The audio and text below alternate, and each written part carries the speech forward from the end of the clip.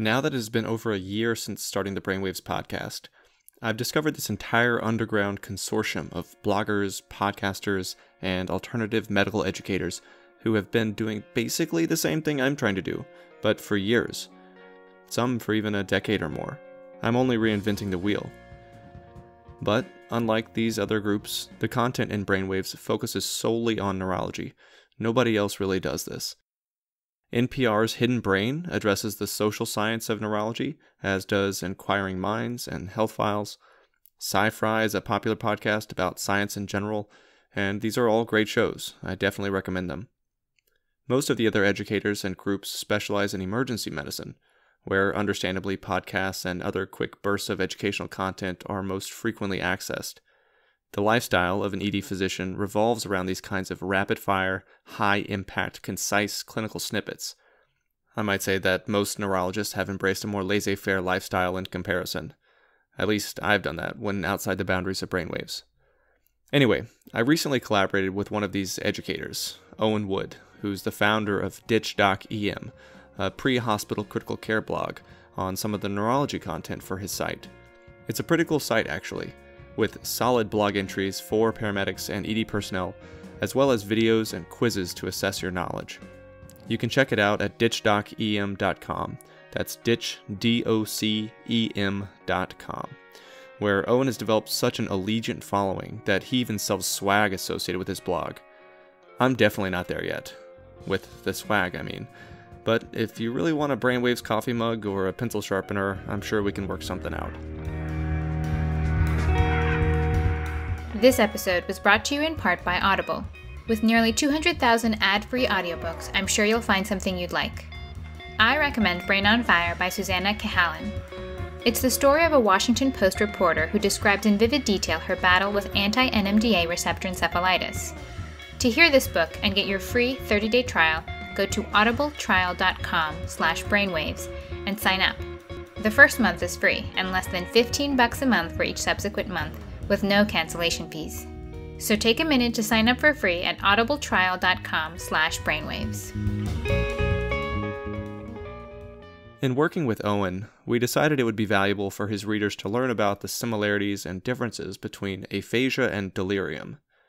This is really challenging, and I had a tough time working on that blog. I had to phone a few friends for some tips. But in this Brainwaves brief, we'll try to do that topic some justice starting with the clinical vignette. Two weeks ago, I was called to the emergency room to see a patient who was confused. She was 71 years old, carried a history of hypertension and mild cognitive impairment, but was fully independent at baseline. She was brought in by her family because that evening after dinner she was not acting like herself. Her son, who she lives with, found her sitting alone in the study and staring at a wall. When he asked her if she was okay, she responded, Oh yeah, the wall needs new paint.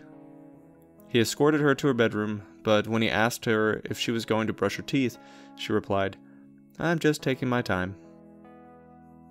After a few more questions, it became obvious to him that she did not understand what he was asking her. Not at all. So we brought her to the emergency room for evaluation, and eventually I was called to see her to determine if she was experiencing delirium or maybe if she had an aphasia. But before we even get into the differences between aphasia and delirium, why is this even important? What's the big deal? The reason you want to recognize aphasia from delirium is because their causes and management are polar opposites. Aphasia is caused by a focal cortical lesion, like a stroke, a tumor, or a neurodegenerative syndrome. In contrast, delirium is caused by a systemic disturbance, something like sepsis, hypoglycemia, or uremia, which can cause a global cerebral dysfunction. Focal, global. You wouldn't give a septic patient who's delirious TPA, would you? I mean, that would be crazy. So, how does a neurologist go about this? The first thing that's immediately obvious to the examiner is how the language is produced and comprehended. Even this can be tricky for some experts. So, your first pearl is to figure out how to describe the features of a patient's language. Are the words clearly enunciated, favouring aphasia? The NHS was started on the 5th of July, 1940. Or are they slurred, favouring delirium? That's the weirdest microphone I've ever seen in my life. Is the patient's speech grammatically correct? I'm not very good at this kind of thing. Delirium. Or lacking in appropriate syntax? And I have been very, very, uh, friend, somebody, uh, yeah, uh, uh, uh an incredibly uh, loyal. Aphasia. Is the patient's prosody or their pattern of speech fluent? Watch, I'm going to read this thing. For decades, Shep Gordon. Delirium. Or irregular? I mean, right? All right. I, um, Aphasia. Can the patient understand spoken language? Delirium. Or is there a major difficulty with following simple verbal or written commands? Aphasia. Naming and repetition should also be assessed as a part of any neurologic examination, but impairment in these modalities is not as useful in distinguishing delirium from aphasia.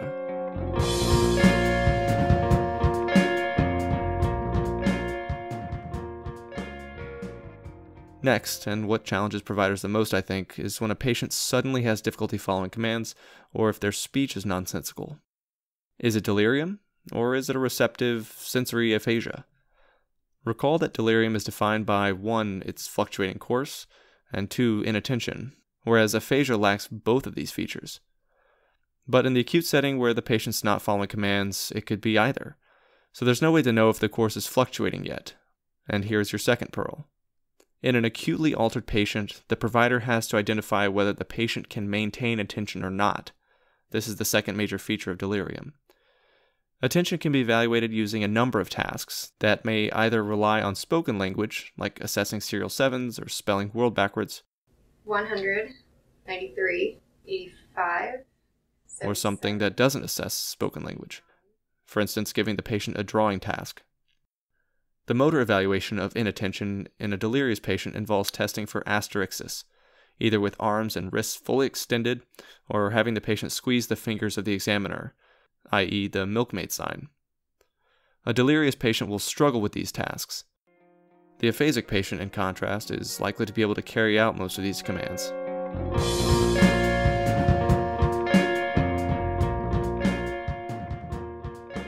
Thirdly, know that misery loves company. What I mean in this context is neurologic deficits don't often occur in isolation. A keen examiner can often recognize more than one clue which could help him or her localize the lesion. Consider language lateralization for this aspect. In nearly every right handed patient, language localizes to the left hemisphere. I don't always count on this for left handed patients, where a quarter of patients are right hemisphere dominant or may even have a more, quote, distributed language function. Assuming the examiner has this information in the acute setting, usually from the patient's family or friends who've brought them into the hospital, this kind of information could prove useful. Third pearl, in knowing the patient's handedness, the examiner may attend more closely to functions of neighboring brain regions in order to distinguish a focal neurologic deficit from a global cerebral impairment. For example, in a right hand dominant patient, you might try to tease out a pronator drift of the right hand, signifying a corticospinal tract injury pattern of weakness. Or you might see relatively slower tapping of the right fingers or the toes or feet, also indicating subtle corticospinal tract dysfunction. In the left handed patient, you might look for these subtle signs on either hemibody.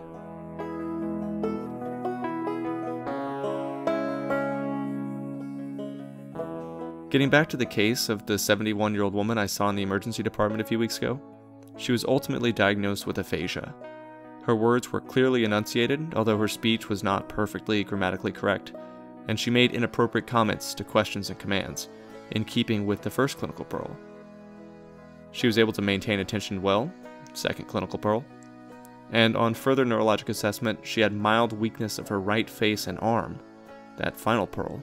Misery loves company a beautiful localization to the left posterior frontal and parietal lobes for all you neurologists out there.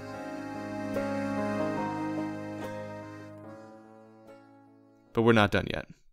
Before we wrap up this week, I just want to quickly mention that delirium can also be misdiagnosed in the setting of other syndromes besides aphasia. For instance, you might suspect an expressive aphasia in a patient with hypoactive delirium, they're just not talking, usually because of some underlying psychiatric disease or Wernicke's encephalopathy. Maybe for the hypoactive delirium, I would be more worried about the patient having an acute aphasia and try to expedite a stroke evaluation, because the risk of missing a stroke is greater than the risk of missing a hypoactive delirium. But in the case of Wernicke's, I don't think any provider would hesitate to start high dose intravenous thiamine replacement in order to prevent the mammillary bodies from frying themselves and the patient's encephalopathy becoming more permanent. Additionally, delirium can mimic focal neurologic deficits like Anton syndrome, which is a bilateral occipital lobe disorder, usually due to bilateral posterior cerebral artery infarctions, or the Charles Bonnet syndrome, which is a retinal disorder that results in visual release phenomenon, aka hallucinations, usually related to age related macular degeneration. Remember that the E in the delirium acronym actually stands for eyes and ears, since loss of visual or auditory input can induce delirium in some older patients. I really think that it's fascinating that both Anton's and Charles Bonnet syndrome are the result of impaired visual perception, and both can mimic delirium. Anton's representing a defect in cortical processing of visual information, and Charles Bonnet being a defect in the perception and transmission of visual information to the brain. So, for this reason, it's imperative to do your best to get a complete and thorough neurologic exam, including at minimum pupillary reactivity and visual field assessment, even in a patient with suspected delirium who may not be cooperating as well. Otherwise, you might fail to see something, just like your patient. Sorry for the tangent about the other neurologic mimics of delirium.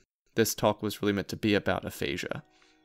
The bottom line is, and your take home point today, when you suspect a focal cortical lesion in the setting of presumed delirium, don't be afraid to speak up, because your patient may not be able to. oh god, I just can't stop with these puns. Alright, that's all we've got for you for Brainwaves this week. Continuing medical education for the neurologist and for trainees. Thanks for tuning in. Please let us know what you think about this podcast by rating us on iTunes, Stitcher, and wherever else you get your podcasts. You can also follow us on Twitter at Brainwaves Audio or Facebook at facebook.com slash brainwavespodcast. Be sure to check us out on Instagram at Brainwaves Podcast as well. The music this week was produced by Josh Woodward under a Creative Commons license. I'm Jim Siegler. Talk to you next time.